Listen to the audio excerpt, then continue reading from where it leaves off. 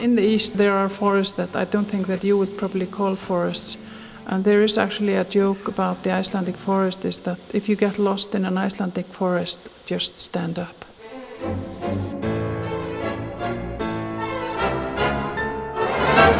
The settlers who came here came in the year 1000, so we have a, a history over a thousand year history. They came from Scandinavia and Ireland, um, so we have Viking blood.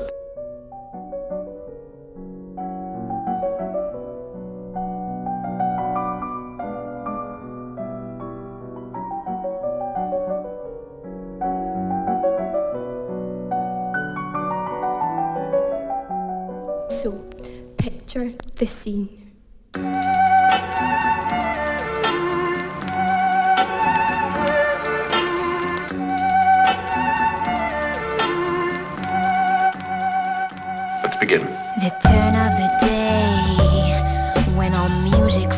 Fools come out to play until the drunk turn of night.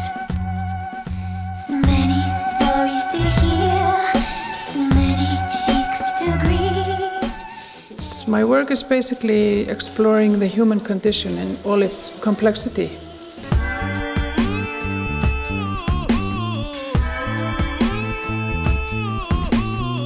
How we relate to each other and how we are going through all kinds of transition in society. And it's logical for me to use the figure.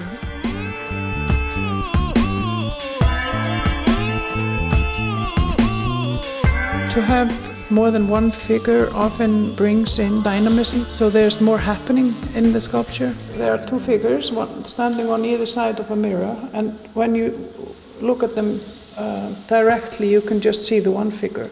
But as you walk around, they blend into each other. There is a really strong connection both between the, the two figures and also between the mirror and the person who's looking at it.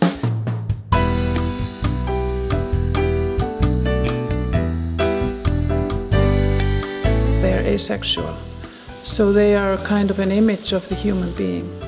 That's how I've been using the figure.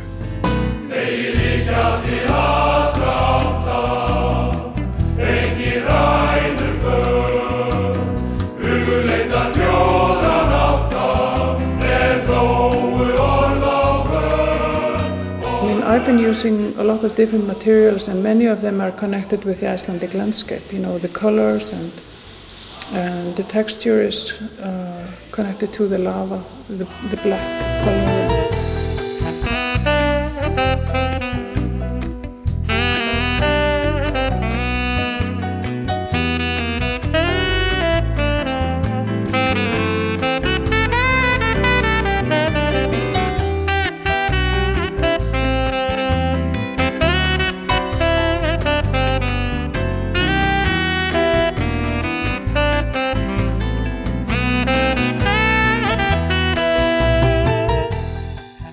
Lot of different connotations, glass. It's very seductive material. But it's also translucent, combining it with another more heavy material. In this case, it's cast iron and glass.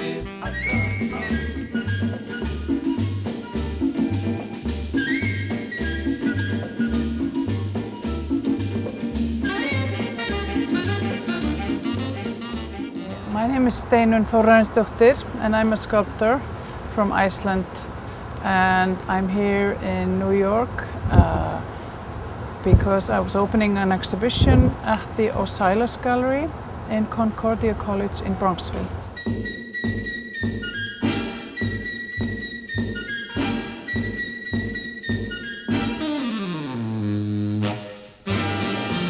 The show at the Osiris Gallery, I think it's interesting because the space is good. And I thought that was quite interesting to see it with the students' work because it's educational.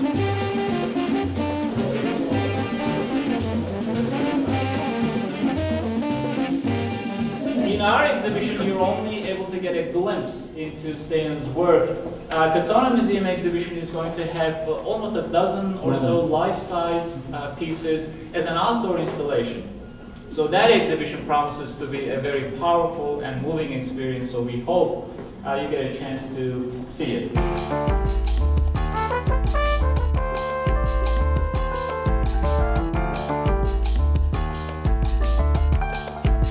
There are 10 trees in the garden, and I'm making 10 cast iron figures that are kind of uh, growing out of the earth like the trees. It's always strange karma seeing yourself in, in, in multiples.